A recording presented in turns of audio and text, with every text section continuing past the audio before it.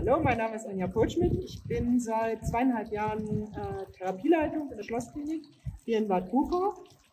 Ähm, war vorher in vielen Akuthäusern, beziehungsweise in einigen Akuthäusern, aber auch schon in der Reha als Therapieleitung und auch als angestellter Therapeut äh, tätig. Habe nebenher einen Bachelorstudiengang und einen Masterstudiengang gemacht. Äh, der Masterstudiengang hat mich so ein bisschen zur gerätestützten Therapie gebracht, in der in dem viel vorgestellt wurde, in dem Kongresse beworben wurden, wo wir dann auch ganz gerne hingegangen sind. Und so bin ich schließlich auch über die Lyra gestolpert. Die Lyra habe ich kennengelernt, da wurde sie noch von den Schweizern betrieben und habe mir auch so ein bisschen die Entwicklung angeschaut ähm, und habe irgendwann festgestellt, dass das die Maschine ist, die ich gerne für meine Gangrehabilitation haben möchte.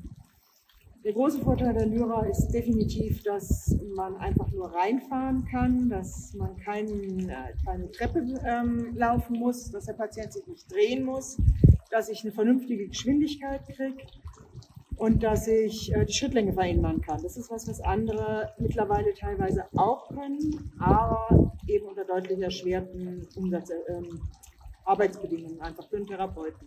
Weil auch das ist eine wunderschöne Erleichterung in der Lyra ich habe eine relativ kurze Zeit, um den Patienten in, den, in das Gerät reinzubringen und kriege es auch sicher hin, ohne dass ich mir allzu sehr das Kreuz verbiege. Das waren so die Punkte, warum ich gerne einen Gangtrainer haben wollte. Generell gerätestützte Therapie ist die Zukunft, da brauchen wir nicht drüber, drüber zu reden.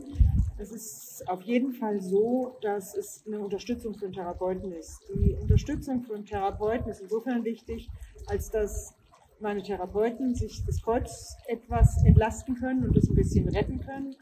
Ich habe viel Motivation von Patienten, weil die sehen, es gibt Fortschritte.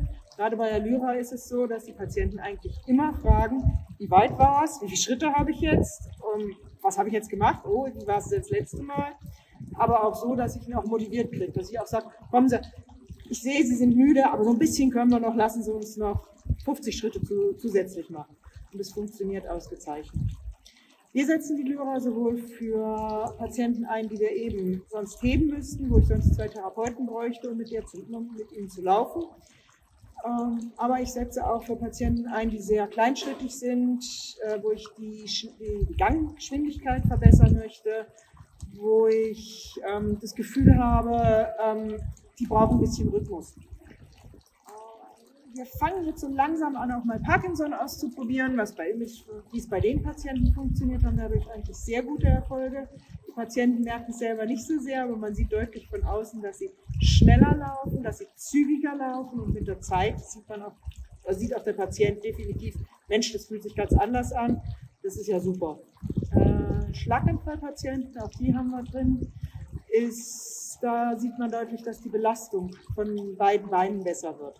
Und die geben auch sehr schnell Rückmeldung, dass, es, äh, dass sie deutlich besser stehen, dass das Gefühl besser ist, dass sie sicherer sind, dass sie ähm, allein schon beim Transfer, wenn ich eine halbe Stunde Lyra mache, dann sitzt, ähm, dann ist der Patient müde. Das ist anstrengend für ihn, gerade weil wir ja auch am Maximum arbeiten, an der Belastungsgrenze. Ähm, wenn ich den dann also noch umsetzen lasse, weil er vom Stuhl nochmal rüber muss oder nochmal aufstehen lassen muss, damit der Gurt ausgezogen werden kann, ähm, er sagt mir automatisch, Mensch, ich stehe viel besser, was ist denn da los? Das ist auch was, die Gewichtsübernahme. Man beobachtet es auch. Wir nehmen auch Patienten, die schon selbstständig laufen, aber halt mit Stütze, mit, mit eben kleinschrittig unsicher. Auch die nehmen wir gerne in die Lyra und bei denen sieht man auch den Erfolg und die spüren es dann auch sehr stark.